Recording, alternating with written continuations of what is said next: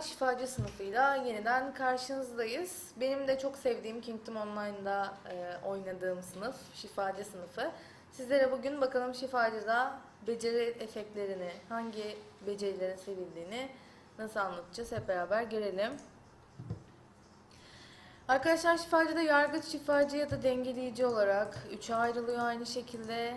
Hangisini seçmek istiyorsanız yine size tercih meselesi.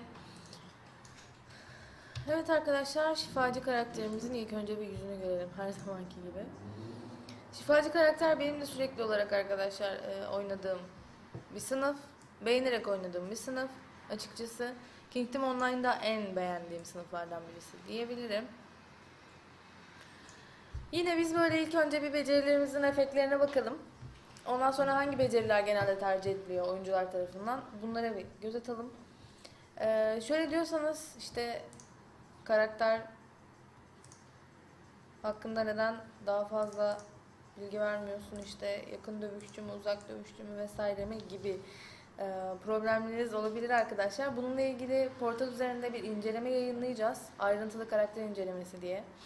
E, karakterlerin hangi karakterlerin hangi sınıfların hangi becerilerine daha çok yoğunlaşmalısınız ya da hangi becerilerle daha e, iyi bir şekilde oyunda ilerleyebilirsiniz gibi sorularınızı cevaplayacak yazılı bir inceleme paylaşacağız portal üzerinden. Bizi sık sık takip edin. Yine garibim goblinlerimizde bir artistlik taslayalım arkadaşlar. Evet arkadaşlar şifacı karakterimizin becerilerine biraz göz atalım istedim. Biraz e, şifacı açıkçası savaşlarda ya da dungeonlarda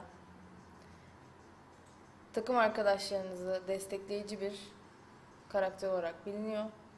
Diğer MMORPG'lerde de aynı şekilde. Ee, grup halinde eğer oynuyorsanız oyunda grup halinde karakter geliştirmeye çalışıyorsanız, dungeonlara giriyorsanız, e, bölge savaşı, kare, kare savaşlarına e, birlikte giriş yapıyorsanız tercih edilebilecek bir karakter. Partilere birlikte giriyorsanız genellikle e, şifacının buffları bu yönde geliştirilmiş, bu yönde dizayn edilmiş. Gördüğünüz gibi arkadaşlar Prayer of Healing büyü hasarı oranına göre değişiklik gösteriyor. Holy Explosion e, sadece kutsal arma ile birlikte kullanılabiliyor ve yüzde 130 şimşek hasarı veriyor.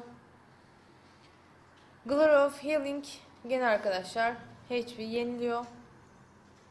Holy Light 10 saniyeliğine arkadaşlar %360 hasar veriyor. Sanctuary Revelation 10 metre civarda 30 saniye boyunca 100 HP iyileşme sağlıyor. Aynı şekilde e, Growing Devotion buff'ı 10 saniye boyunca 10 e, metre içindeki tüm dostların HP'sini arttırıyor. Bunun dışında bakalım e, neler varmış bufflar dışında. Hasar olarak Holy Shock var arkadaşlar. Şöyle göstereyim size. Genellikle şifacıda e, healing dışında güzel olarak beğenilen şeylerden birisi. Becerilerden birisi. E, Blow of Light var arkadaşlar. Nasılmış görmek istiyorum diyorsanız. Şu şekilde Evet arkadaşlar şifacımızın e, becerileri bu şekilde.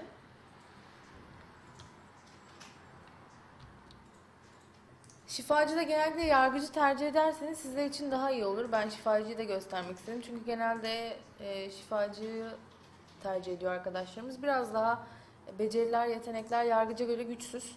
O yüzden pek şifacıyı tercih etmemenizi e, açıkçası öneririm ve ben şifacının birazcık beceri efektlerini de çok beğenmedim diyebilirim ama Yargıç'ta gerçekten mükemmel. Çok yakında arkadaşlar Kingdom Online'ın en iyi e, sınıflarının en iyi beceri ağaçlarını sizler için oluşturacağız, sizlere sunacağız. Hangi sınıflar daha iyi, hangi sınıfların becerileri, işte yargıç mı, şifacı mı, dengeleyici mi daha iyi gibi sorularınızı cevaplayacak yazıda bir incelemeyle karşınızda olacağız.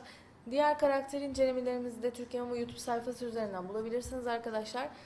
Eğer Kingdom Online oynayacaksanız şifacı ve yargıç tercih etmeyi unutmayın arkadaşlar. Kendinize iyi bakın, hoşçakalın.